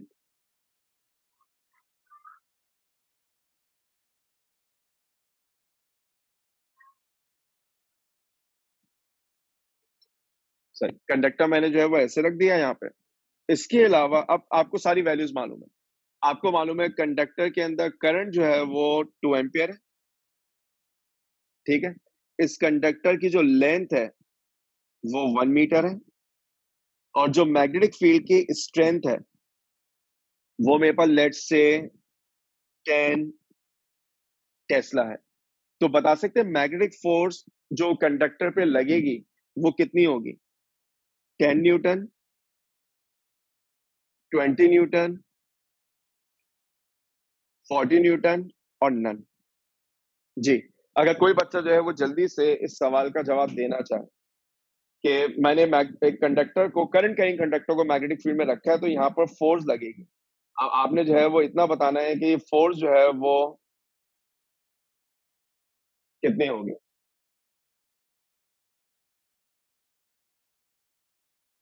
जी सर। सर नन क्योंकि शायद फ़ील्ड के पैरेलल रखा हुआ है ये। बिल्कुल सही। यहाँ पर जो फोर्स है मैंने खासतौर पे ज़ीरो इसलिए ऑप्शन नहीं दिया था ज़ीरो देख के सबको क्लिक कर जाता। ठीक है? क्योंकि कंडक्टर फ़ील्ड के पैरेलल रखा हुआ है। फ़ील्ड के पैरेलल रखने का मतलब है कि इसका सही आंसर जो है वो नन होगा। क्यों? क्योंकि फोर्स की वैल्यू ज़ीरो होगी। तो हमें जो है वो ये वाली बात जो है वो याद होनी चाहिए। अच्छा जब आपने ये फॉर्मूला ड्राइव किया I L B sine theta तो आपने इसी को बुनियाद बनाकर एक एक नया टॉपिक पढ़ा था, जिसको आप नाम देते थे अच्छा डायरेक्शन ऑफ़ फोर्स वही राइट हैंड रूल है, वो जो मैंने पाम वाला आपको बताया क्योंकि जब भी वो परपेंडिकुलर का केस बनेगा, आप राइट हैंड रूल अप्लाई करेंगे फिंगर्स का मतलब फ़ील्ड होगी, और यहाँ पे आप थम का मतलब डायरेक्शन ऑफ़ करंट ले लें या लेंथ ले लें, एक ही बात है। जो परपेंडिकुलर टू पाम है या पुश ऑफ़ दी पाम है, वो बेसिकली फोर्स को रिप्रेजेंट करता है। तभी हम कहते हैं कि if a current carrying conductor is kept in a magnetic field it will move if a current carrying conductor is kept in a magnetic field it will move और वो जो डायरेक्शन है वो राइट हैंड रूल से निकलती है। आपने इस आई एल बी साइन बस आज की क्लास के लिए बस ये आखिरी बात होगी। लिहाजा वो बच्चे जो बहुत देर से इंतज़ार कर रहे हैं क्लास कब खत्म होगी तो मेरे ख्याल से शायद बारह तेरह मिनट ही बचे हैं। शायद आपको याद आए आपने एक फॉर्मूला ड्राइव किया था और वो फॉर्मूला होता था क्या? Torque acting on a current carrying coil in a magnetic field. देखिए, मैं पूरी पूरी हेडिंग्स जो है ना, वो इसलिए डाल रहा हूँ क्योंकि इन हेडिंग्स के अंदर सारी वो कंडीशंस होती हैं जिनके तहत आपको टॉपिक पढ़ना होता है। कि torque acting on a current carrying coil सिर्फ़ कॉइल ने चाहिए करंट कैरिंग चाहिए जो कि मैग्नेटिक फ़ील्ड में रखा हो। तो याद है, आप कुछ ऐसा केस पढ़ते थे कि हमने एक रेक्टेंगुलर कॉइल लिया।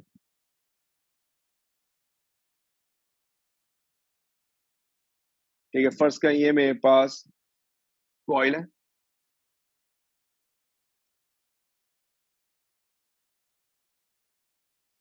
इसको आप बैटरी से कनेक्ट करेंगे, यहाँ से ये पॉइंट ए है। ये बी है, ये सी है, ये डी है। यहाँ मौजूद है नॉर्थ यहाँ मौजूद है साउथ जो लाइन ऑफ़ फोर्स है, वो नॉर्थ से साउथ जाएगी कुछ इस तरह। This is direction of field अच्छा अगर कॉइल के अंदर करंट नहीं है तो मैग्नेटिक फ़ील्ड उसके ऊपर कोई फोर्स एग्जर्ट नहीं करेगी। अगर कॉइल के अंदर करंट है and let's say that current is moving in clockwise direction so मैं डायरेक्शन ऑफ़ करंट बना देता हूँ क्लॉकवाइज जो डायरेक्शन ऑफ़ करंट है क्लॉकवाइज है तो इसका मतलब डायरेक्शन ऑफ़ करंट यहाँ से जाएगी ए बी की तरफ़ और यहाँ से जाएगी सी डी की तरफ़। ठीक है? अच्छा इस कॉइल को हमने एक एक्सेस के ऊपर जो है वो फिट किया हुआ है। या जैसे आप एक्सेल कह लें एक्सेल उस चीज़ को कहेंगे जिसके अक्रॉस ये जो है वो रोटेट करेगा। ठीक है? ये आपके पास जो है, मैं इसे डॉटेड कर दूँ ताकि ये ओरिजिनल फिगर से आपको अलग ही नज़र आए। ये वो एक्सेस है जिसके अक्रॉस ये कॉइल जो है वो रोटेट करेगा, जिसको आप नाम देते थे एक्स एक्स डैश का। हमें जल्दी से कुछ बातें डिसाइड करनी है। जब यहाँ पर फोर्स लगेगी तो शायद आप तमाम बच्चे इस बात से एग्री करेंगे, जो कंडक्टर बी सी और एडी है, वो फ़ील्ड के पैरेलल रखे हुए हैं। तो इसका मतलब है B C is parallel to A D which is parallel to field अगर वो फ़ील्ड के पैरल है तो इन तीनों के ऊपर फोर्स की वैल्यू क्या बन जाएगी? ज़ीरो बन जाएगी। हमें जो है वो ये बात याद रखनी है। इसके अंदर अब यहाँ पर अगर फोर्स होगी तो वो सिर्फ़ ए बी पर होगी और सी डी पर। और अगर आप उन फोर्स की डायरेक्शन निकालें तो देखें आ, क्योंकि आप मुझे देख नहीं पा रहे इसलिए मैं थोड़ा सा जो है वो बात को वाजे कर दूँ। आप राइट हैंड इस डायरेक्शन निकालने के लिए राइट हैंड रखें कैसे कि परपेंडिकुलर का केस है ना वो right hand palm rule use कर लें। आप राइट हैंड को कुछ ऐसा रखेंगे।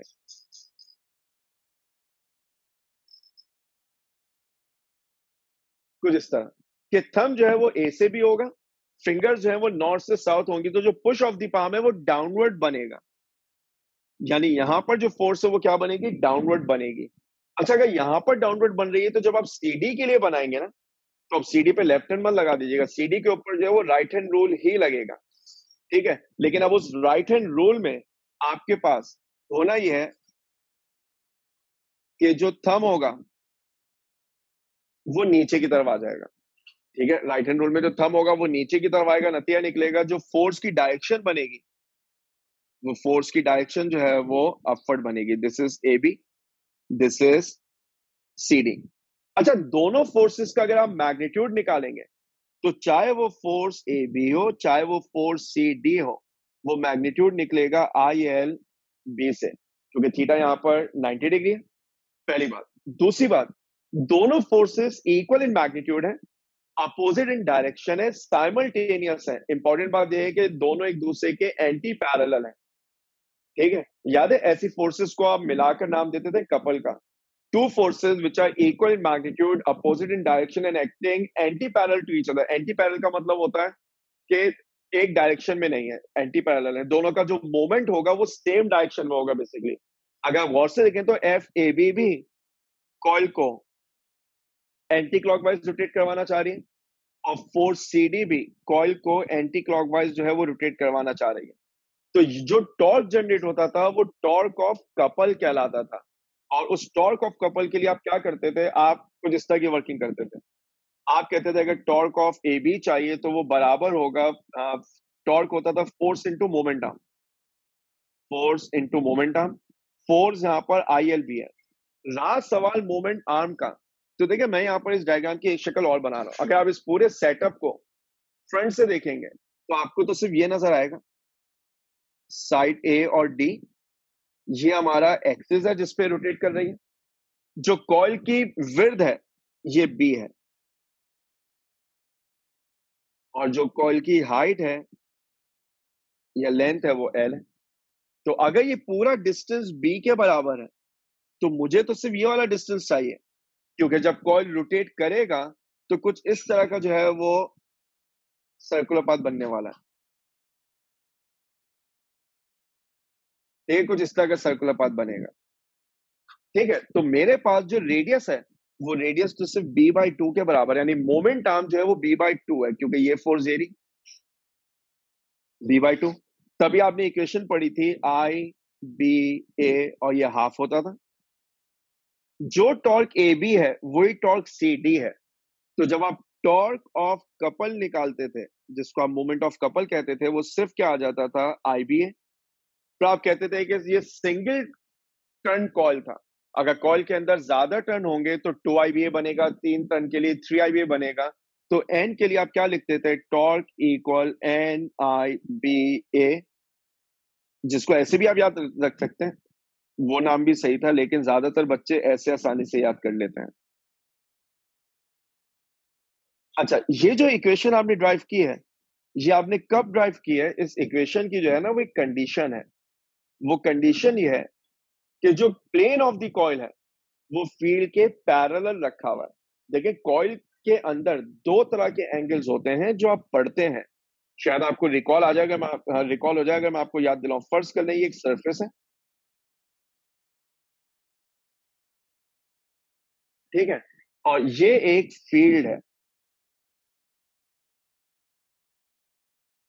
एक एंगल होता है जो कहलाता है angle of plane of the surface. जिस एंगल को हम नाम देते हैं किसका? अल्फ़ा का। वो एंगल जो प्लेन ऑफ़ द सरफेस बनाता है, वो अल्फ़ा कहलाता है। और एक एंगल वो है जो सरफेस का एरिया बनाता है। जिसको आप थीटा कहते हैं मुझे पूरा यकीन है कि आपने इलेक्ट्रोस्टैटिक में इलेक्ट्रिक फ्लक्स के इस तरह के न्यूमेरिकल सॉल्व किए हुए जहाँ पर आपको वो प्लेन का एंगल देते थे और आपको जो है वो बेसिकली एरिया का एंगल चाहिए होता था, वो 90 माइनस करके आप निकाला करते थे। ठीक है तो ये जो वर्किंग आपने की है, सारी, ये इस अजम्पन पर है कि अगर आपके पास कॉइल एडी नज़र आ रहा है तो जो फ़ील्ड है वो बिल्कुल ऐसी है। यानी यहाँ पर अल्फ़ा कितना बन रहा है? ज़ीरो डिग्री ये फॉर्मूला उस वक्त है। अगर plane of the coil field से कोई एंगल बना रहा हो, यानी मुझे साइड ए बी ऐसे नज़र आने लग जाए। इनफिट साइड ए डी ये वाला पॉइंट एक्सिस है? ये पॉइंट ए है, ये पॉइंट डी है। देखिए फ़ील्ड पे तो कोई फ़र्क नहीं पड़ा फ़ील्ड तो अभी भी ऐसी रहेगी।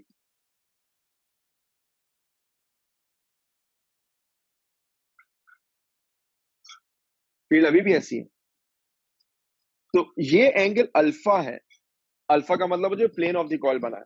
अब जब आप मोमेंट आर्म निकालते तो वो मोमेंट आर्म ये नहीं होता था। वो मोमेंट आर्म बेसिकली इसका कंपोनेंट होता था। कुछ ये वाला। क्यों? क्योंकि मोमेंट आर्म हमेशा फोर्स के क्या होता था? परपेंडिकुलर और ये कंपोनेंट आप कैसे निकालते थे? ये कंपोनेंट निकलता था B over two cos alpha से। अभी तो जब आपने यहाँ पर टॉर्क का फॉर्मूला ड्राइव किया तो वो आपके पास क्या बना? बीना कॉस अल्फ़ा। क्योंकि सब कुछ सेम है, सिर्फ़ फ़र्क पड़ेगा किसके ऊपर? एंगल के ऊपर। और अब अगर मैं आपसे कहूँ कि if plane of the coil is parallel to the field तो अल्फ़ा क्या बन जाएगा? ज़ीरो तो मेरे पास टॉर्क की वैल्यू क्या आ जाएगी? बीना। क्योंकि आपके पास कॉस ज़ीरो जो है वो वन होता है। और ये वही फॉर्मूला है जो थोड़ी देर पहले हमने ड्राइव किया है। क्योंकि उस वक्त था जब plane of the parallel to the field था। और अगर आपके पास plane of the plane of coil perpendicular to field बन गया तो मेरे पास अल्फ़ा की वैल्यू क्या बनेगी? 90 तो मेरे पास टॉर्क कितना बन जाएगा? ज़ीरो बन जाएगा। ठीक है, हमें जो है, तभी मैंने आज चैप्टर के बिल्कुल शुरू में कहा था कि हम जितनी इक्वेशंस पढ़ेंगे, वहाँ पे हमें मिनिमम और मैक्सिमम जो है वो ज़रूर पढ़ना होगा। जी सैमन तो ये फोर्स फोर्स की डायरेक्शन कैसे निकाली आपने? हाँ ये आप ये वाली बात कर रहे हैं? हेलो यस सर देखिए मैं, मैंने राइट हैंड रूल अप्लाई किया। यानी अगर आप इमेजिन करें अगर आप अभी किसी टेबल पे बैठे हुए हैं तो Yes, आपके सामने कोई नोटबुक है उस नोटबुक को रखिए टेबल के ऊपर। अपना पाम जो है वो नोटबुक के ऊपर इस तरह रखिए कि आपका जो पाम है वो नोटबुक से कांटेक्ट में फिंगर्स को फ़ील्ड से अलाइन करें थंब को करंट से अलाइन करें तो आपको फील होगा push of the palm is into the board है, नीचे की तरफ़ जा रहा है। तभी हमने फोर्स की डायरेक्शन को डाउनवर्ड दिखाया। और जब आप सी से डी पे करेंगे तो ये push of the palm upward हो जाएगा। समझ में आ रही है? नहीं सर हाँ तो थोड़ा सा जो है वो आपको जो है वो विजुअलाइज करना पड़ेगा, वरना अगली क्लास में आप मुझे बिल्कुल जो है वो देख पाएँगे तो मैं आपको एक दफ़ा दोबारा जब आप मुझे देख रहे होंगे तो शायद मैं ज़्यादा बेहतर आपको जो है वो समझा पाऊँ कि मैं बता क्या रहा हूँ। लॉजिक मुश्किल नहीं है। आप अपने राइट हैंड को जो है वो सिर्फ़ जैसे कभी कभार होता है ना, आप पूरा अपना हाथ जो है वो अपने फेस के ऊपर रख लेते हैं। बिल्कुल वैसे अगर आप शीट के ऊपर रखेंगे तो जो फिंगर्स हैं वो नॉर्थ से साउथ जा रही होंगी। जो थम है वो करंट की डायरेक्शन में होगा। अगर आप पुश ऑफ़ द पाम की बात करेंगे तो आपको लगेगा आप पेज को प्रेस कर रहे हैं नीचे की तरफ़ पुश कर रहे हैं तो इनटू द बोर्ड वाली सूरत बन रही है। और जब आप सी से डी पे रखेंगे ना तो पाम ऊपर की तरफ़ आएगी यानी आउट ऑफ़ द बोर्ड अगर अभी कोई कंफ्यूजन है तो कोई ऐसा इश्यू नहीं है मैं नेक्स्ट क्लास में डायरेक्शन जो है वो एक दफ़ा दोबारा बता दूँगा। फ़िलहाल यहीं तक रखेंगे। अच्छा अ, मैं मैं असल में चाह रहा हूँ कि मैंने आपको शायद लास्ट टाइम इस बात का ज़िक्र कर दिया था कि मुझे कम से कम एक से दो जो है वो एक्स्ट्रा सेशंस लेने हैं। ठीक है? और अगर मेरी नॉलेज गलत नहीं है तो शायद ट्यूसडे को और सैटरडे को एम कैट अलामा या हाँ बिल्कुल एम कैट अलामा एप्टीट्यूड जो है, इनकी कोई क्लास नहीं होती। तो अगर मैं क्लास जो है वो ट्यूसडे मॉर्निंग रखना चाहूँ तो आप में से कितने बच्चों को एतराज़ है?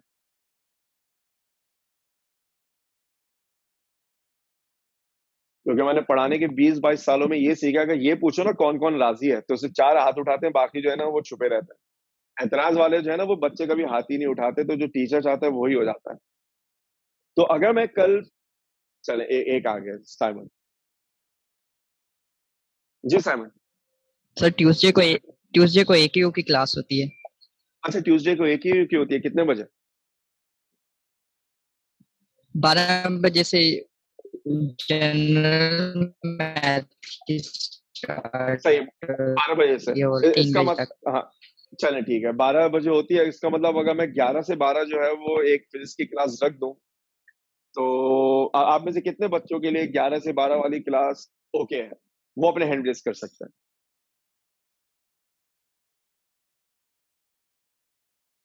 यानी इतने वोट्स होने चाहिए कि जो स्क्रीन है ना वो नज़र ना आए तो फिर मैं मान लो कि इंसाफ से फैसला हो गया।